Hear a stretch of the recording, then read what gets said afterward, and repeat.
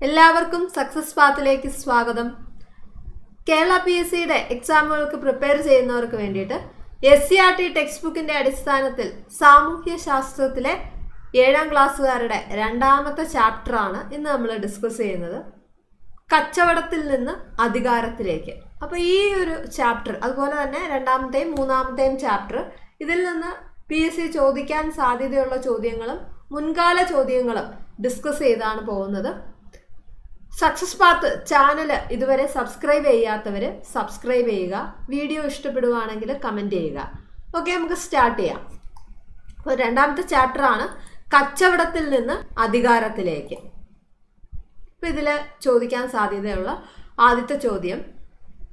വാസ്കുഡഗാമ കോഴിക്കോട് സമീപമുള്ള കാപ്പാട് തീരത്തെത്തിയ തീയതി എന്നാണ് വാസ്കുഡ ഗാമ കേരളത്തിലെത്തിയത്. ആയിരത്തി തൊള്ളായിരത്തി നാൽപ്പത്തി എട്ട് മെയ് മാസത്തിലാണ് വാസ്കുടഗാമ കേരളത്തിൽ കോഴിക്കോട് സമീപമുള്ള കാപ്പാട് തീരത്തെത്തിയത്. കോഴിക്കോട് ആ സമയത്ത് അക്കാലത്ത് കോഴിക്കോട് ഭരിച്ചിരുന്നത് സാമൂതിരി രാജാവാണ്. ഇദ്ദേഹം വാസ്കുഡഗാമയ്ക്ക് കച്ചവട സൗകര്യങ്ങൾ നൽകാത്തതിനാൽ അദ്ദേഹം എത്തിയ സ്ഥലമാണ് കണ്ണൂർ. സാമൂതിരി കച്ചവട സൗകര്യങ്ങൾ നൽകാത്തതിനാൽ വാസ്കടഗാമ കച്ചവടത്തിന് എത്തിയ സ്ഥലം എന്ന് ചോദിച്ചു കഴിഞ്ഞാൽ കണ്ണൂരാണ്. ഇപ്പൊ രണ്ട് ചോദ്യങ്ങൾ. വാസ്കടഗാമ കേരളത്തിൽ എത്തിയ വർഷം ആയിരത്തി തൊള്ളായിരത്തി നാൽപ്പത്തി എട്ട് മെയ് മാസത്തിലാണ്. സാമൂതിരിക്ക് സാമൂതിരി കച്ചവട സൗകര്യങ്ങൾ നൽകാതിരുന്നതിനാൽ വാസ്കുഡഗാമ കച്ചവടത്തിന് വേണ്ടി എത്തിയ സ്ഥലം കണ്ണൂരാണ്. ഇനി അടുത്ത ചോദ്യം.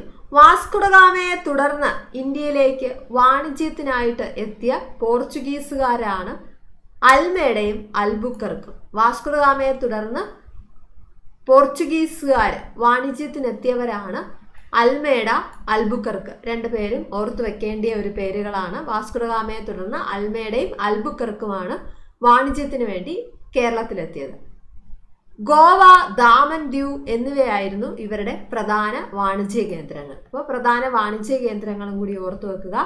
ഗോവ ദാമൻ ദ്യൂ തൃശൂർ ജില്ലയിലെ കോട്ടപ്പുറം കോട്ടയും കണ്ണൂരിലെ സെന്റ് ആഞ്ചലോസ് കോട്ടയും നിർമ്മിച്ചത് പോർച്ചുഗീസുകാർ. അപ്പോൾ പ്രീവിയസ് ചോദ്യം. സെന്റ് ആഞ്ചലോസ് കോട്ട കണ്ണൂരിലെ സെന്റ് ആഞ്ചലോസ് കോട്ട നിർമ്മിച്ചത് പോർച്ചുഗീസുകാർ. അതുപോലെ തന്നെ തൃശ്ശൂർ ജില്ലയിലെ കോട്ടപ്പുറം കോട്ട നിർമ്മിച്ചത് ആര്?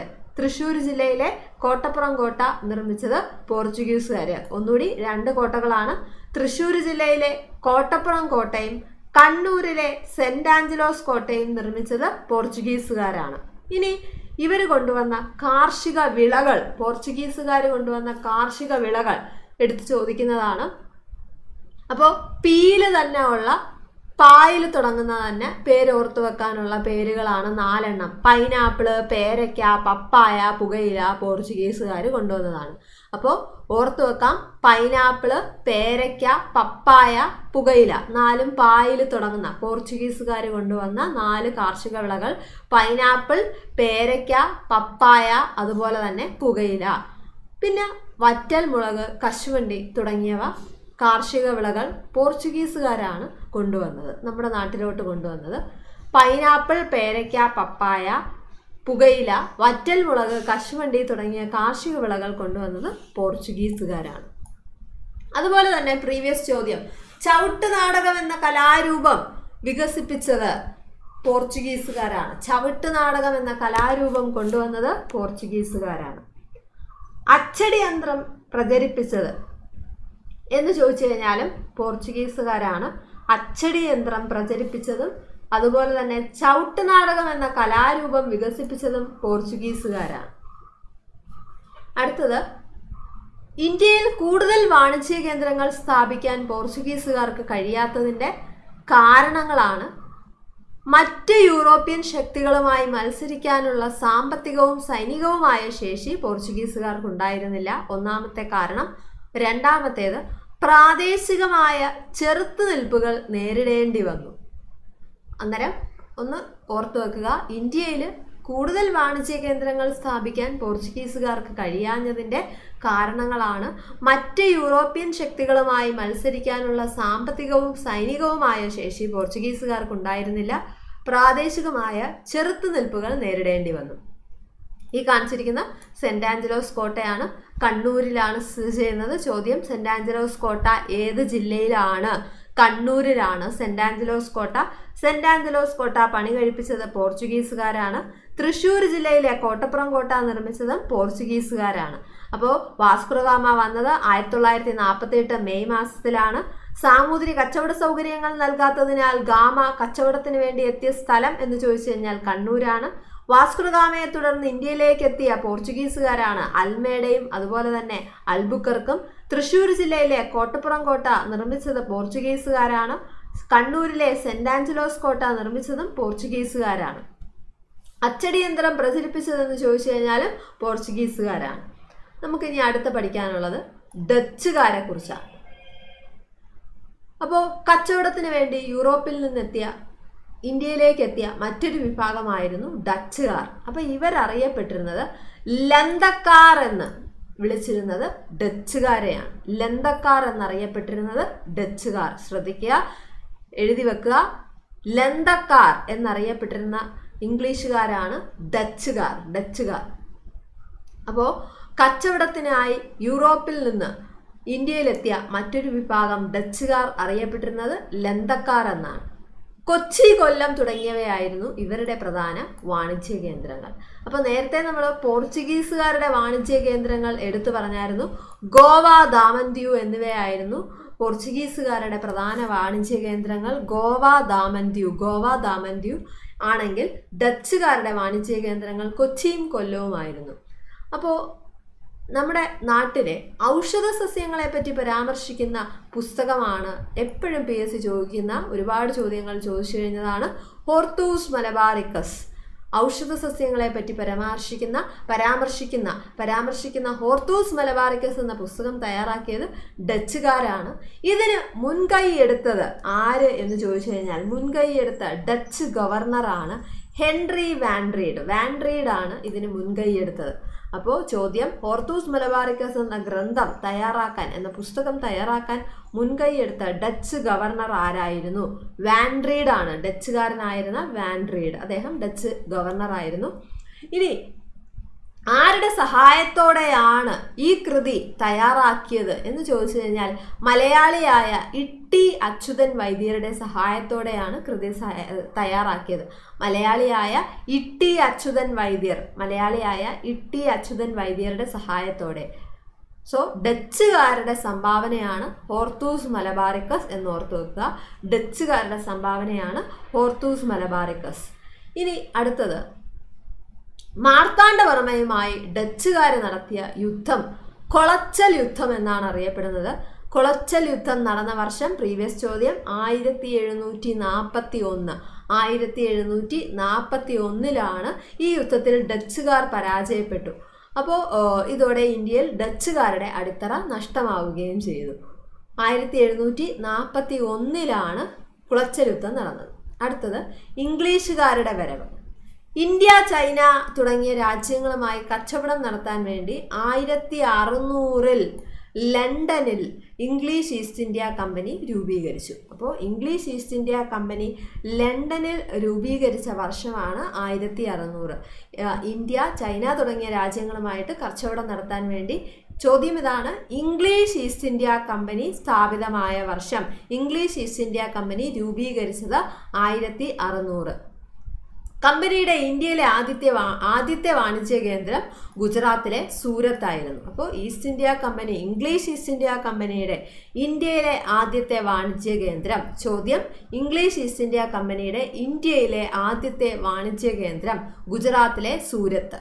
അടുത്തത് മദ്രാസ് കൽക്കത്ത ബോംബെ തുടങ്ങിയവിടങ്ങളിലും സ്ഥലങ്ങളിലും അവർ വാണിജ്യ കേന്ദ്രങ്ങൾ സ്ഥാപിച്ചു. മദ്രാസ് കൽക്കത്ത മുംബൈ തുടങ്ങിയ സ്ഥലങ്ങളിലും അവർ വാണിജ്യ കേന്ദ്രങ്ങൾ സ്ഥാപിച്ചു. അടുത്ത ചോദ്യം ഫ്രഞ്ച് ഈസ്റ്റ് ഇന്ത്യ കമ്പനി സ്ഥാപിതമായ വർഷം ആയിരത്തി അറുന്നൂറ്റി അറുപത്തിനാല് ഫ്രഞ്ച് ഈസ്റ്റ് ഇന്ത്യ കമ്പനി സ്ഥാപിതമായ വർഷം ആയിരത്തി അറുന്നൂറ്റി അറുപത്തിനാല് അപ്പോൾ പോണ്ടിച്ചേരി മാഹി കാരക്കൽ തുടങ്ങിയവയായിരുന്നു ഫ്രഞ്ചുകാരുടെ പ്രധാന കച്ചവട കേന്ദ്രങ്ങൾ. അപ്പോൾ ആദ്യം നമ്മൾ പോർച്ചുഗീസുകാരുടെ കച്ചവട കേന്ദ്രങ്ങൾ വാണിജ്യ കേന്ദ്രങ്ങൾ ഗോവ ദാമന്ത്യു. പോർച്ചുഗീസുകാരുടെ വാണിജ്യ കേന്ദ്രങ്ങൾ ഗോവ ദാമന്ത്യു. ഡച്ചുകാരുടെ വാണിജ്യ കേന്ദ്രം പ്രധാനമായ വാണിജ്യ കേന്ദ്രം കൊച്ചിയും കൊല്ലവുമായിരുന്നു. ഫ്രഞ്ചുകാരുടെ വാണിജ്യ കേന്ദ്രങ്ങൾ പോണ്ടിച്ചേരി അഥവാ ഇന്നത്തെ പുതുച്ചേരി മാഹി കാരക്കൽ. പുതുച്ചേരി മാഹി കാരക്കൽ തുടങ്ങിയവയായിരുന്നു ഫ്രഞ്ചുകാരുടെ പ്രധാന കച്ചവട കേന്ദ്രങ്ങൾ. അപ്പോൾ ഫ്രഞ്ചുകാരെ കുറിച്ച് പഠിക്കുമ്പോൾ പ്രധാനമായിട്ടും പഠിക്കാനുള്ളത് കർണാട്ടിക് യുദ്ധങ്ങളാണ്. കർണാട്ടിക് യുദ്ധങ്ങളെ കുറിച്ചാണ് ഒന്നുമില്ല. ഇന്ത്യയിൽ ഫ്രഞ്ചുകാരുടെ ആസ്ഥാനം ഫ്രഞ്ചുകാരും അതുപോലെ തന്നെ ഇംഗ്ലീഷുകാരും തമ്മിൽ നടത്തിയ ഇംഗ്ലീഷുകാരും ഫ്രഞ്ചുകാരും തമ്മിൽ നടത്തിയ മത്സര യുദ്ധത്തെയാണ് അല്ലെങ്കിൽ മത്സരത്തെയാണ് കർണാട്ടിക് യുദ്ധങ്ങൾ എന്ന് വിളിക്കുന്നത്. ചോദ്യം ഇതായിരിക്കും ഇംഗ്ലീഷുകാരും ഫ്രഞ്ചുകാരും തമ്മിൽ അല്ലെങ്കിൽ തിരിച്ച് കർണാട്ടിക് യുദ്ധം നടത്തിയത് ആരെല്ലാം തമ്മിലായിരുന്നു എന്ന് ചോദിച്ചു കഴിഞ്ഞാൽ ഇംഗ്ലീഷുകാരും ഫ്രഞ്ചുകാരും തമ്മിൽ ഇംഗ്ലീഷുകാരും ഫ്രഞ്ചുകാരും തമ്മിൽ നടത്തിയ കർണാട്ടിക് യുദ്ധങ്ങൾ. ഇംഗ്ലീഷുകാരും ഫ്രഞ്ചുകാരും തമ്മിൽ നടന്ന യുദ്ധങ്ങളുടെ പ്രധാന വേദി എന്ന് പറയുന്നത് ഇന്നത്തെ തമിഴ്നാടിന്റെ ഭൂരിപക്ഷ മേഖലകൾ ഉൾപ്പെട്ട കർണാട്ടിക് പ്രദേശങ്ങളായിരുന്നു. അതുകൊണ്ടാണ് അവർ തമ്മിൽ നടത്തിയ യുദ്ധങ്ങളെ കർണാട്ടിക് യുദ്ധങ്ങൾ അതായത് ഇന്നത്തെ തമിഴ്നാടിന്റെ പ്രധാന ഭൂരിപക്ഷ കേന്ദ്രങ്ങൾ ഉൾപ്പെട്ടത് കർണാട്ടിക് പ്രദേശങ്ങളായിരുന്നു. അതുകൊണ്ടാണ് ഇംഗ്ലീഷുകാരും ഫ്രഞ്ചുകാരും തമ്മിൽ നടന്ന യുദ്ധങ്ങൾ കർണാട്ടിക് യുദ്ധങ്ങൾ എന്നറിയപ്പെട്ടിരുന്നത്. ഇനി ഇംഗ്ലീഷ് ഈസ്റ്റ് ഇന്ത്യ കമ്പനി അധികാരത്തിലേക്ക് എന്നുള്ളൊരു ടോപ്പിക്കാണ്. അതായത് ബംഗാളിലായിരുന്നു കമ്പനി ആദ്യമായി അധികാരം നേടിയത്. അത് ചോദ്യമാണ്. ആദ്യമായിട്ട് ഇംഗ്ലീഷ് ഈസ്റ്റ് ഇന്ത്യ കമ്പനി അധികാരം നേടിയ സ്ഥലം എന്ന് ചോദിച്ചു കഴിഞ്ഞാൽ ബംഗാളാണ്. ഇംഗ്ലീഷ് ഈസ്റ്റ് ഇന്ത്യ കമ്പനി രൂപീകരിച്ച വർഷം ആയിരത്തി അറുന്നൂറ് ഇന്ത്യയിൽ ആദ്യമായി അധികാരം നേടിയ സ്ഥലം ബംഗാളാണ്. ഇനി അടുത്തത് പഠിക്കാനുള്ളത് പ്ലാസി യുദ്ധമാണ്. പ്ലാസി യുദ്ധം. പ്ലാസി യുദ്ധം വർഷം സ്ഥിരം ചോദിക്കുന്നതാണ് ആയിരത്തി എഴുന്നൂറ്റി അമ്പത്തി ഏഴ് ആയിരത്തി എഴുന്നൂറ്റി അമ്പത്തി ഏഴിൽ ബംഗാളിലെ നവാബായിരുന്ന സിറാജുദ്ദൗളയും സിറാജുദ്ദൗളയും അതുപോലെ തന്നെ ബ്രിട്ടീഷുകാരെ പരാജയപ്പെടുത്തിയ യുദ്ധമാണ് ആയിരത്തി എഴുന്നൂറ്റി അമ്പത്തി ഏഴിലെ പ്ലാസി യുദ്ധം. ബംഗാളിലെ നവാബായിരുന്ന സിറാജുദ്ദൗളയെ പ്ലാസി യുദ്ധത്തിൽ ബ്രിട്ടീഷുകാർ പരാജയപ്പെടുത്തി. അപ്പോൾ ആയിരത്തി എഴുന്നൂറ്റി അമ്പത്തി ഏഴിലാണ് പ്ലാസി യുദ്ധം. അടുത്തത് ബക്സാർ യുദ്ധം നടന്ന വർഷമാണ് ആയിരത്തി എഴുന്നൂറ്റി അറുപത്തി നാല് ആയിരത്തി എഴുന്നൂറ്റി അറുപത്തി നാല് ബക്സാർ യുദ്ധവും ബ്രിട്ടീഷുകാർ വിജയ വിജയിച്ചതോടെ ബംഗാൾ കമ്പനിയുടെ കീഴിലായി. അപ്പോൾ രണ്ട് യുദ്ധങ്ങൾ ആയിരത്തി എഴുന്നൂറ്റി അമ്പത്തി ഏഴിൽ പ്ലാസി യുദ്ധവും ആയിരത്തി എഴുന്നൂറ്റി അറുപത്തി നാലിൽ ബക്സാർ യുദ്ധവും. ചോദ്യം ബംഗാൾ ഈസ്റ്റ് ഇന്ത്യ കമ്പനിയുടെ കീഴിലാവാൻ കാരണമായ യുദ്ധം എന്ന് ചോദിച്ചു കഴിഞ്ഞാൽ ബക്സാർ യുദ്ധമാണ്. ബംഗാൾ ഈസ്റ്റ് ഇന്ത്യ കമ്പനിയുടെ കീഴിലാവാൻ കാരണമായ ബംഗാൾ ഈസ്റ്റ് ഇന്ത്യ കമ്പനിയുടെ കീഴിലാവാൻ കാരണമായ യുദ്ധമാണ് ആയിരത്തി എഴുന്നൂറ്റി അറുപത്തി നാലിലെ പ്ലാസി യുദ്ധം. സിറാജുദ്ദൗളയുടെ സൈന്യാധിപനായിരുന്നു മിർ ജാഫർ അപ്പോൾ ഈ മിർ ജാഫർ ബ്രിട്ടീഷ് സൈന്യാധിപനെ സഹായിച്ചതുകൊണ്ടാണ്. അവരുടെ സൈന്യാധിപനായിരുന്ന റോബർട്ട് ക്ലൈവുമായിട്ട് രഹസ്യ ധാരണയിലെത്തി അതുകൊണ്ടാണ് പ്ലാസി യുദ്ധത്തിൽ ബ്രിട്ടീഷുകാർ ജയിച്ചത്. അപ്പോൾ ബ്രിട്ടീഷുകാരുടെ ഈ ഒരു പ്ലാസി യുദ്ധത്തിൽ വിജയിക്കാൻ കാരണമായത് സിറാജുദ്ദൗളയുടെ സൈന്യാധിപനായിരുന്ന മിർ ജാഫർ ഒറ്റിയതിനാലാണ്. അപ്പോൾ മിർ ജാഫർ ഒറ്റിയതിനാലാണ് അവർ ആ യുദ്ധത്തിൽ ജയിച്ചത്. ചോദ്യം പ്ലാസി യുദ്ധത്തിൽ ബ്രിട്ടീഷുകാരെ സഹായിച്ച സിറാജുദ്ദൗളയുടെ സൈന്യാധിപൻ ആരായിരുന്നു?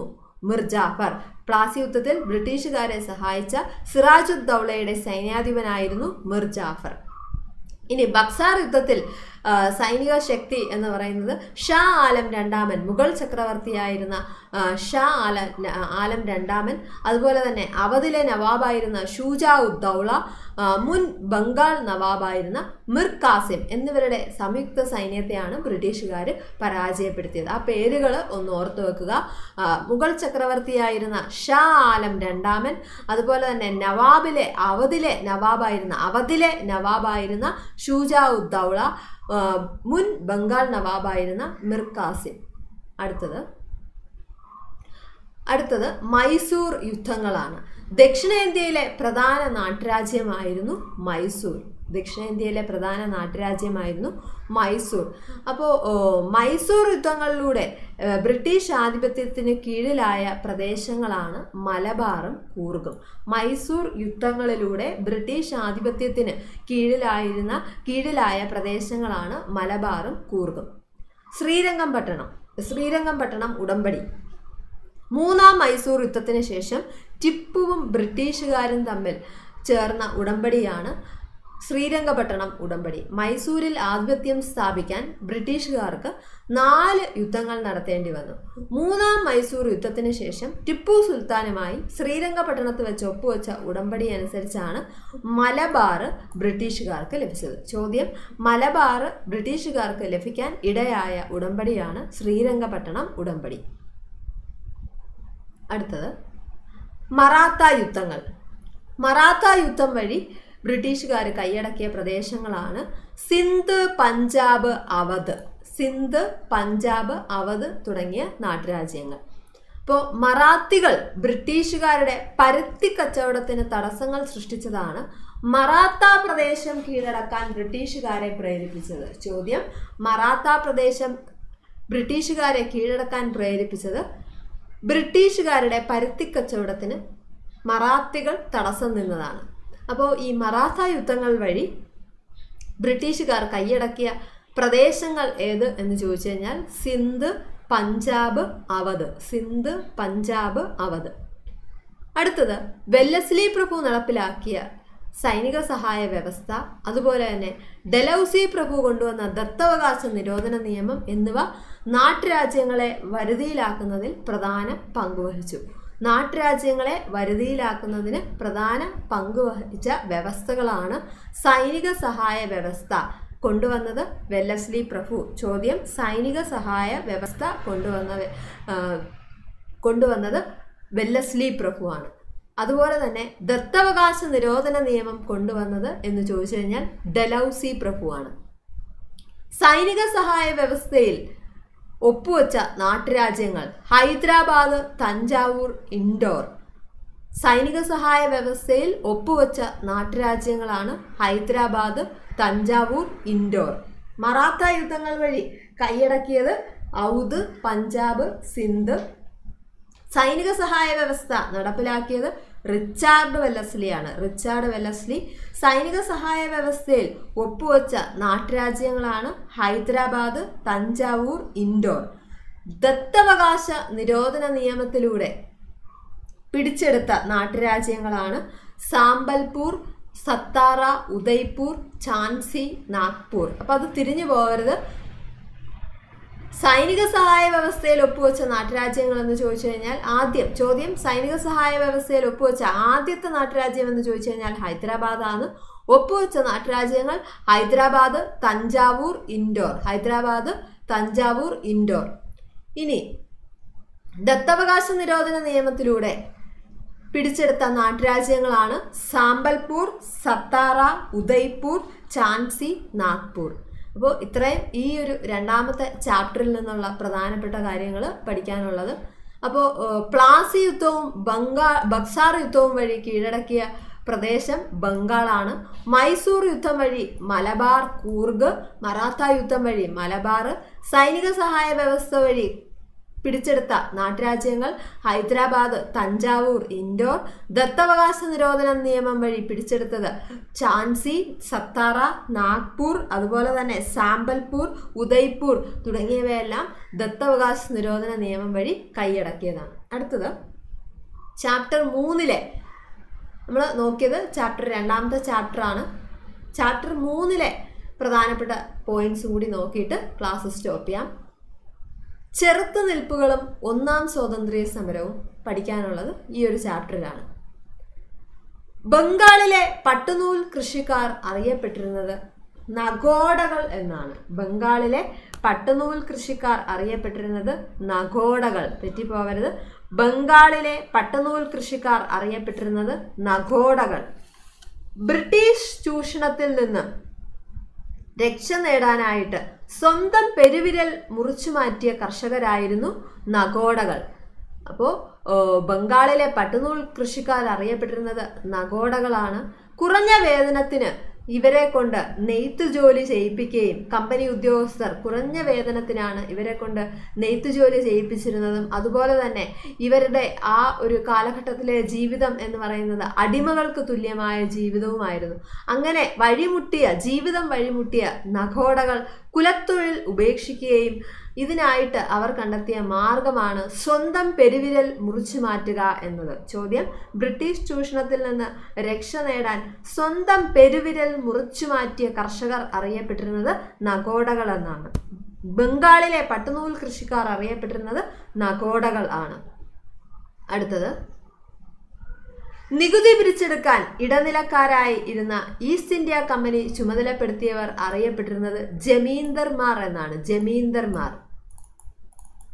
നികുതി പിരിച്ചെടുക്കാൻ ഇടനിലക്കാരെ ചുമതലപ്പെടുത്തി ഈ ഇടനിലക്കാർ അറിയപ്പെട്ടിരുന്നത് ജമീന്ദർമാർ എന്നാണ്. അതുപോലെ തന്നെ പണം പലിശയ്ക്ക് കൊടുക്കുന്നവർ അറിയപ്പെട്ടിരുന്നത് പണത്തിനായി കർഷകർ പണം പലിശയ്ക്ക് കൊടുക്കുന്നവരെ സാഹുക്കാർ എന്നും അറിയപ്പെട്ടു.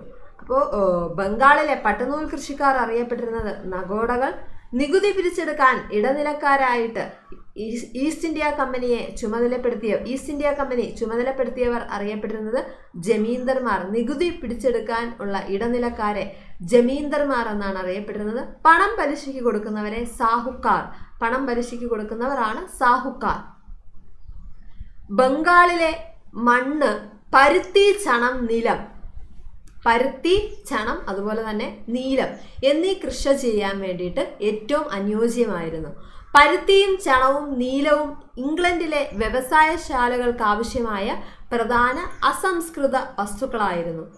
ബംഗാളിലെ മണ്ണെന്ന് പറയുന്നത് ഏതൊക്കെ കൃഷിക്ക് അനുയോജ്യമായിരുന്നു? പരുത്തി അതുപോലെ തന്നെ ചണം കൃഷിക്കും നീലം കൃഷിക്കും അനുയോജ്യമായിരുന്നു.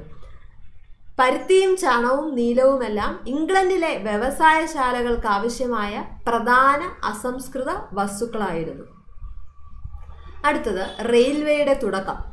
ഇന്ത്യയിൽ റെയിൽവേ ആരംഭിക്കുന്നത് ആരംഭിച്ചത് ആയിരത്തി എണ്ണൂറ്റി അമ്പത്തി മൂന്ന് ഏപ്രിൽ പതിനാറ്. ഇന്ത്യയിൽ റെയിൽവേ ആരംഭിച്ചത് ആയിരത്തി എണ്ണൂറ്റി അമ്പത്തി മൂന്ന് ഏപ്രിൽ പതിനാറിനാണ്.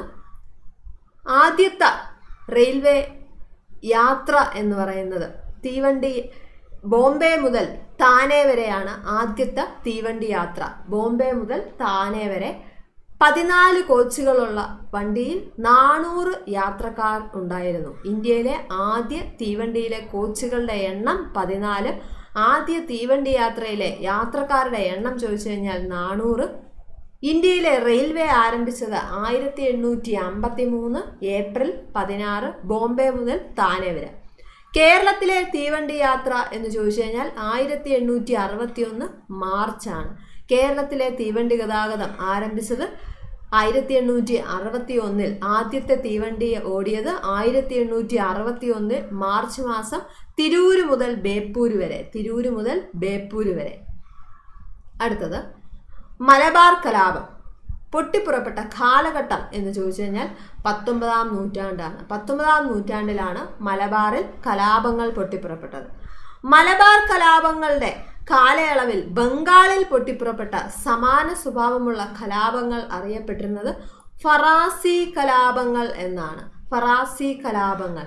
ഇപ്പോൾ മലബാർ കലാപത്തിന്റെ അതേ കാലയളവിൽ ബംഗാളിൽ സമാന സ്വഭാവമുള്ള കലാപങ്ങൾ അറിയപ്പെട്ടിരുന്നത് ഫറാസി കലാപങ്ങൾ എന്നാണ്. ഫറാസി കലാപങ്ങൾ. ഇത്തരത്തിൽ ഇതുപോലെ കലാപത്തിനിറങ്ങിയ ഗോത്ര വിഭാഗങ്ങൾ പേര് ഒന്ന് ഓർത്തു വെക്കുക. മറാത്തയിലെ ഫീലുകൾ അഹമ്മദ് നഗറിലെ കോലികൾ ഛോട്ടാ നാഗ്പൂറിൽ കോളുകൾ രാജ്മഹൽ കുന്നിൽ സാന്താൾമാർ വയനാട്ടിൽ കുറിച്യർ. അപ്പോൾ ഇത്രയും പേര് മറാത്തയിലെ ഫീലുകൾ അഹമ്മദ് നഗറിലെ കോലികൾ ഛോട്ടാ നാഗ്പൂരിൽ കോൾ കോൾ കലാപം സാന്താൾ കലാപം കുറിച്യ കലാപം അതുപോലെ തന്നെയാണ് മറാത്തയിലെ ഫീലു അഹമ്മദ് നഗറിലെ കോലികൾ. ബംഗാൾ അടുത്ത നമുക്ക് നോക്കാനുള്ളത് സാന്താൾ കലാപമാണ്. ബംഗാൾ പ്രവിശ്യയിലെ രാജ്മഹൽ കുന്നുകളിലായിരുന്നു സാന്താൾ ഗോത്രജനത താമസിച്ചിരുന്നത്.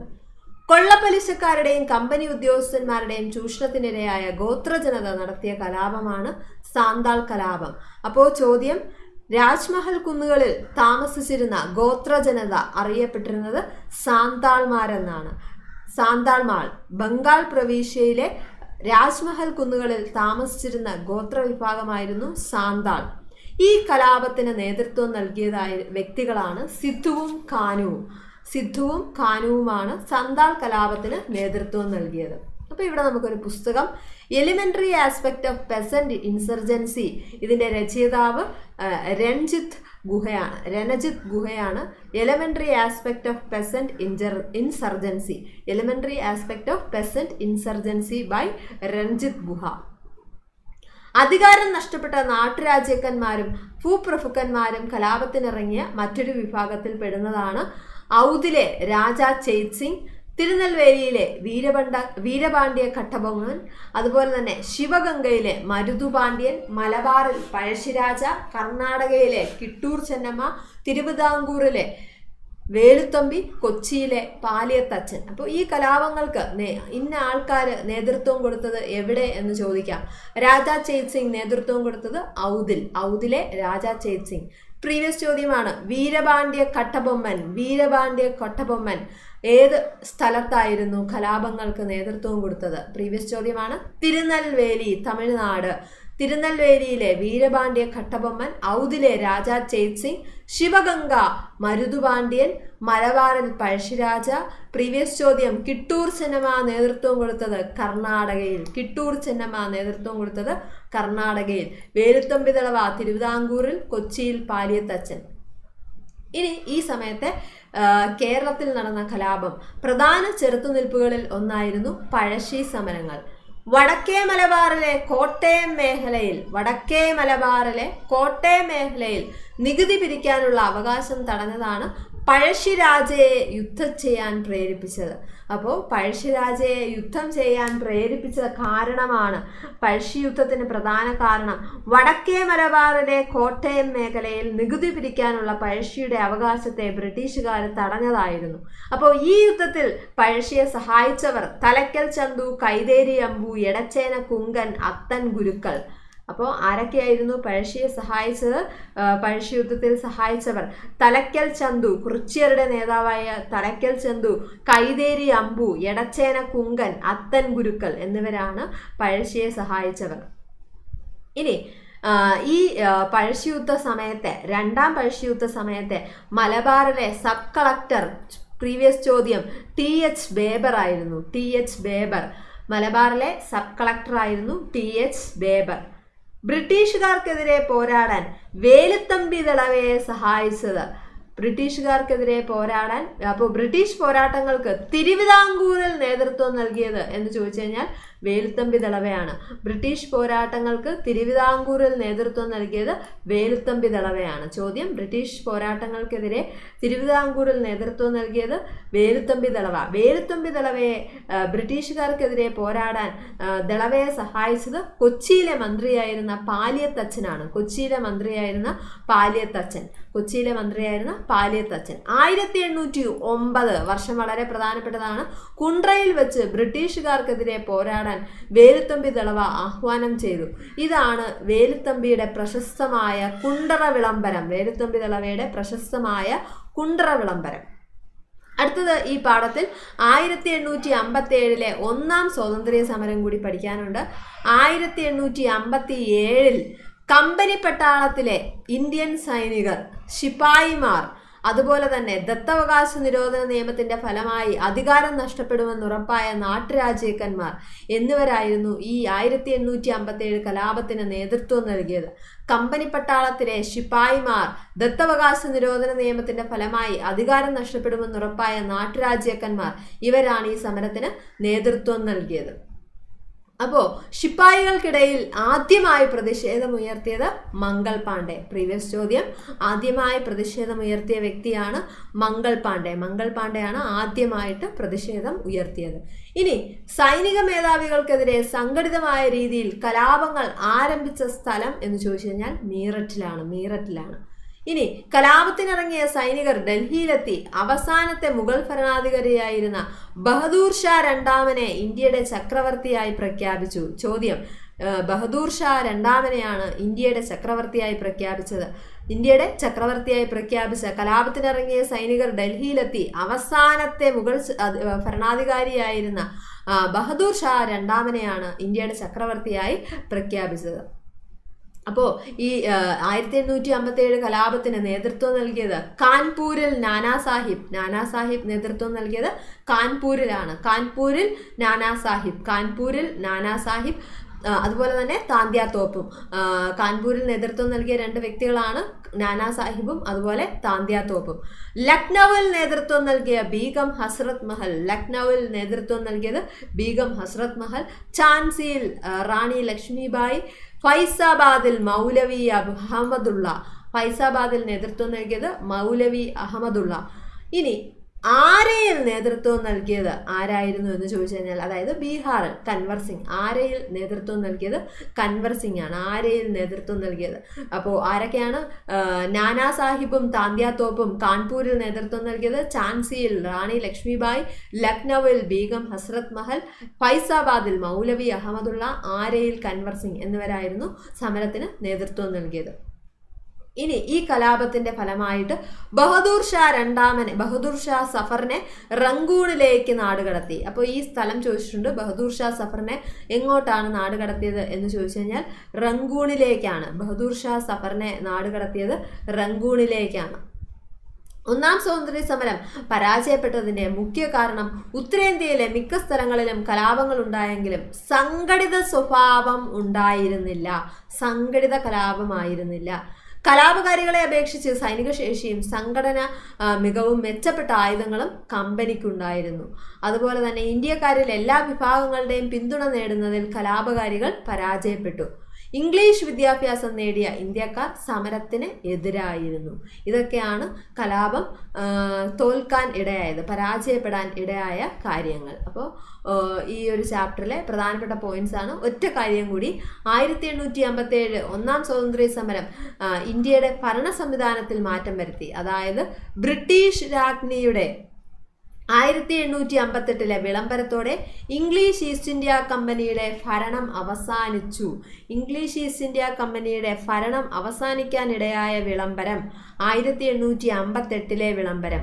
ഇംഗ്ലീഷ് ഈസ്റ്റ് ഇന്ത്യ കമ്പനി ഭരണത്തിനെതിരെ നാടിന്റെ മോചനത്തിനായുള്ള ആദ്യ ബഹുജന സമരമായിരുന്നു ആയിരത്തി എണ്ണൂറ്റി അമ്പത്തി ഏഴിലെ സമരം. ഇംഗ്ലീഷ് ഈസ്റ്റ് ഇന്ത്യ കമ്പനിയുടെ ഭരണം അവസാനിക്കാനിടയായ വിളംബരം എന്ന് ചോദിച്ചു കഴിഞ്ഞാൽ ആയിരത്തി എണ്ണൂറ്റി അമ്പത്തെട്ടിലെ വിളംബരമാണ് ഇന്ത്യയുടെ ഭരണം ബ്രിട്ടീഷ് രാജ്ഞിയുടെ നേരിട്ടുള്ള നിയന്ത്രണത്തിൽ ആക്കാൻ ഇടയായ വിളംബരം എന്ന് ചോദിച്ചു കഴിഞ്ഞാൽ ആയിരത്തി എണ്ണൂറ്റി അമ്പത്തെട്ടിലെ വിളംബരമാണ്. ഇന്ത്യയുടെ ഭരണം ബ്രിട്ടീഷ് രാജ്ഞിയുടെ നേരിട്ടുള്ള നിയന്ത്രണത്തിലാവാൻ കാരണമായ വിളംബരം ആയിരത്തി എണ്ണൂറ്റി അമ്പത്തെട്ടിലെ വിളംബരമാണ്. അപ്പോൾ നമ്മൾ രണ്ട് ചാപ്റ്റർ ആണ് നോക്കിയത്. വളരെ പ്രധാനപ്പെട്ട പോയിന്റ്സ് പി എസ് സി ഒരുപാട് ചോദ്യങ്ങൾ ചോദിച്ചിട്ടുള്ള മേഖലകളാണ് ഈ രണ്ട് ചാപ്റ്ററിൽ നിന്നായിട്ട് സോ എക്സാമിന് പ്രിപ്പയർ ചെയ്യുന്ന എല്ലാവർക്കും വളരെ യൂസ്ഫുൾ ആയിരിക്കും. വീഡിയോ ഇഷ്ടപ്പെട്ടുവെങ്കിൽ കമന്റ് ചെയ്യുക. താങ്ക് ചാനൽ ഇതുവരെ സബ്സ്ക്രൈബ് ചെയ്യാത്തവരുണ്ടെങ്കിൽ സബ്സ്ക്രൈബ് ചെയ്യുക. താങ്ക്